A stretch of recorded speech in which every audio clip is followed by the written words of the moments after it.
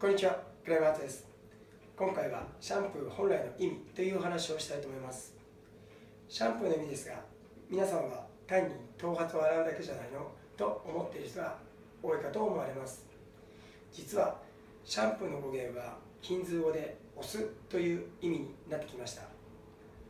頭皮の汚れを洗い流し、清潔にして指の腹でマッサージすることで頭皮や毛根、毛穴を刺激し血行促進させます。